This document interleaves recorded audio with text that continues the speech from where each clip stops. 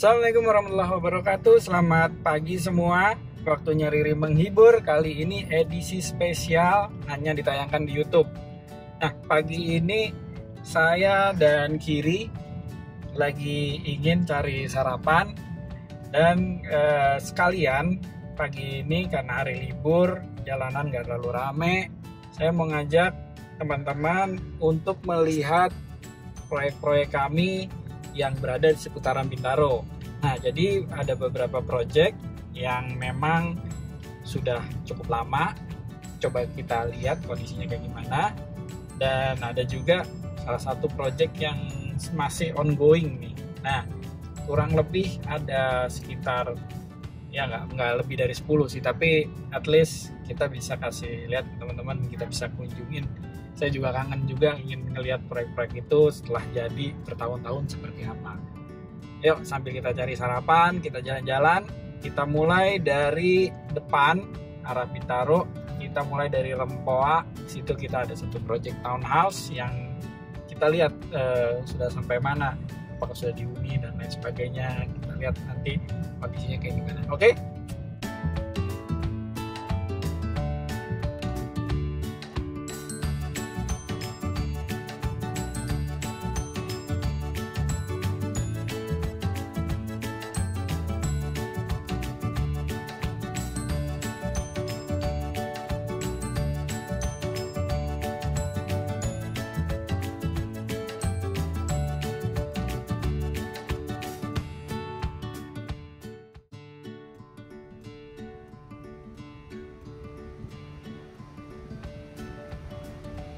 Oke, sekarang kita lagi menyusuri townhouse Grand Vista. Nah, ini lebih kondisinya seperti ini sejak kita mulai bangun di tahun 2016. Ya, di sana kurang lebih di tahun 2015. Nah, ini kurang lebih ada sebenarnya ada 140-an rumah, cuma yang baru dibangun baru sepertiganya dan semua hampir rumahannya full. Wow ramai sekali. Dan ini adalah blok pertama yang mereka bangun. Ada fasilitas taman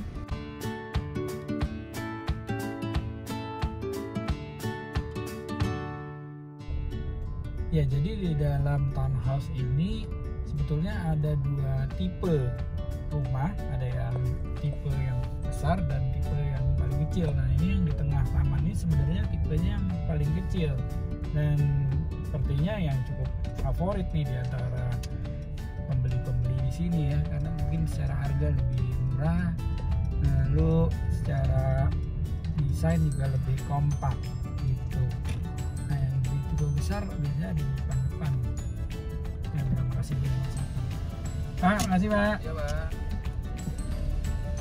Sini juga ada fasilitas clubhouse-nya. Nah, mungkin nanti bisa kita perlihatkan fasilitas clubhouse-nya di depan. Ya, itu clubhouse-nya. Lumayan fasilitas ini ada kolam renang, ada gym. Tempatnya juga luas. Jadi bisa jogging. Nah, pokoknya seru deh. Oke. Oke, next kita ke project selanjutnya ada di daerah udah masuk ke perumahan Bintaro. Oke, okay? check it out. Kasih.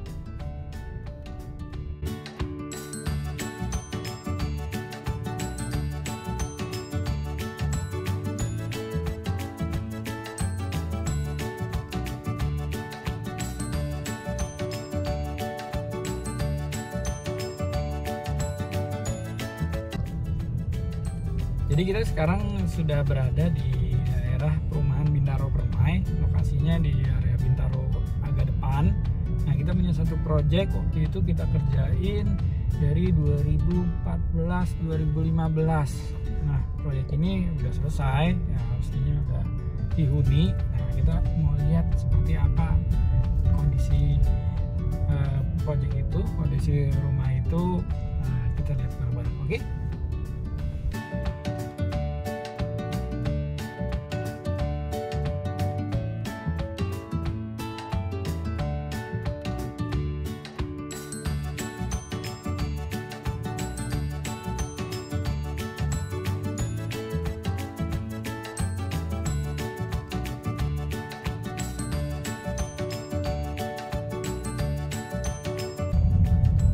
Ya, sekarang kita udah berada di Bintaro di kawasan sektor 7 CBD-nya Bintaro. Kita sedang menuju ke arah sektor 9 dulu. Ada beberapa proyek kita yang sudah jadi dan ada satu proyek juga yang sedang ongoing nih di daerah Puri Bintaro kalau nggak salah. Kita coba lihat ya sambil kunjungin sambil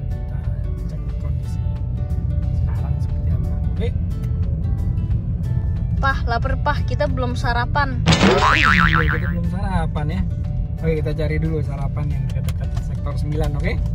Jadi kita sebelum menuju ke proyek selanjutnya, kita sarapan dulu. Akhirnya kita kelaparan juga, jadi mesti isi perut dulu. Ya, jadi karena emang masih ada peraturan PSBB, terus beberapa restoran emang tutup, nggak hanya bisa drive thru, mau nggak mau jadi kita makan di mobil dulu nih. Oke, kita udah selesai. Gimana? Enak? Banget. Kenyang? Lumayan. Oke, lanjut kita ya.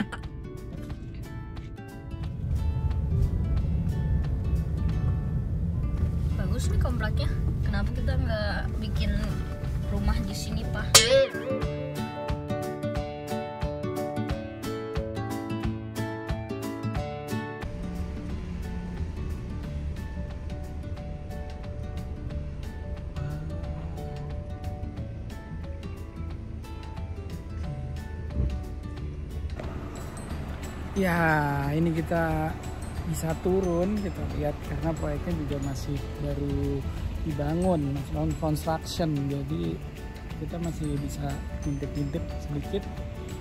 Wah, udah mulai terlihat finishingnya. Ini kita kasih konsep si bangunan ini floating roof house karena emang dari awal kita pengen define atapnya jadi sebuah identitas baru buat ruang-ruang hunian yang ada di dalamnya. Nah, nice. Bisa lihat nih, tengah saya ceritakan taman. Padahal bentuk site-nya ini agak asimetris ya. Wah, keren banget proyeknya. Nggak sabar pengen cepat-cepat jadi. Ternyata udah lama sih nggak supervisi karena kebanyakan uh, proyek arsiteknya yang supervisi. Jadi emang si rumah ini konsepnya floating roof house karena saya pengen memberikan kesan seolah-olah si atapnya itu melayang jadi mengcover si ruang yang ada di bawahnya.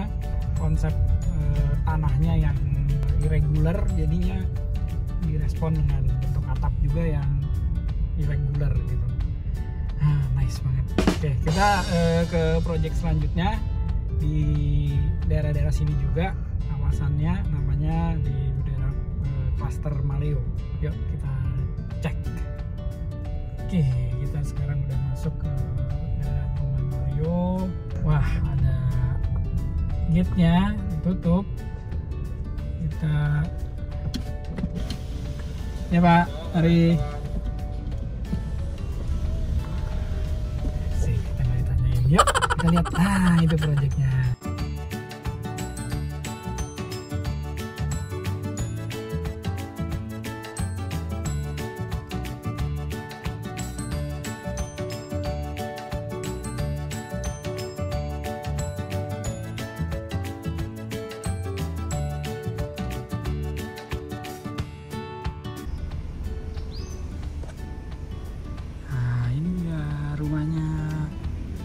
Posisinya tepat di depan taman. Ya, kita namakan paper house karena mengolah dari bentuk yang merespon existing taman supaya kontekstual terhadap site. Nice. Itu tadi project paper house di Maleo sekarang kita punya satu project lagi di Maleo tepatnya di sebelah Master nah, kita langsung masuk aja untuk melihat salah satu project yang keren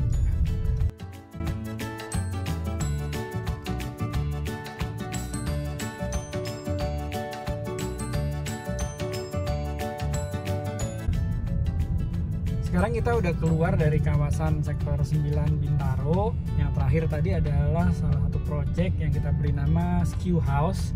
Kalau nggak salah dibangun sejak tahun 2017. Nah itu project eh, kita kasih nama Skew House karena emang konsepnya itu eh, bangunan seperti di stretch stretch di skew untuk menciptakan satu ruang terbuka di tengah rumahnya supaya semua ruang orientasi dalam. Nah kondisinya tadi ya rasanya masih sama dengan ketika kita serah terimakan proyek itu ya mudah-mudahan pemiliknya juga terus menjaga dan uh, menikmati kualitas ruang yang kita berikan sampai uh, mungkin beberapa tahun ke depan masih bisa dihuni dan nyaman.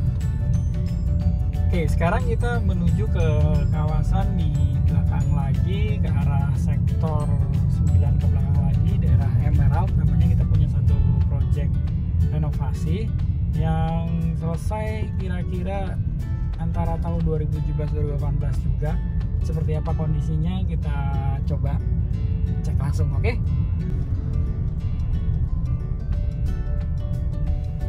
ya masuk. Ada gerbang lagi. Oh no.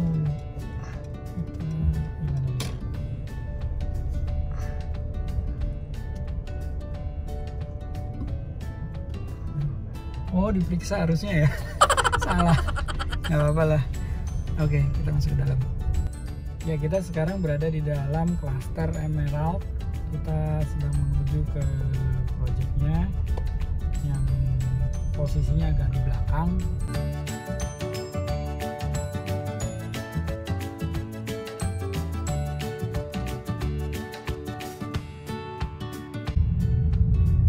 Terakhir ini ada satu project renovasi yang lokasinya juga nggak jauh-jauh dari Emerald kita menuju ke area Discovery. Kita ada itu project yang kita kerjakan. Udah cukup lama mungkin sejak 2014an gitu ya.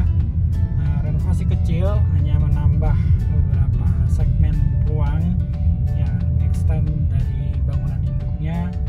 Dan kita juga nggak tahu sekarang kondisinya kayak gimana karena udah lama banget. Mungkin sambil kita tengok oke kita masuk ke dalam. Nah ini projectnya ada di sisi kanan kita. Itu dia. Kita merubah fasad menambah ornamen sedikit. Terus kita juga mengubah program ruangnya sesuai dengan kebutuhan menambah mengextend dan sedikit tadi menampilkan identitas baru buat si fasad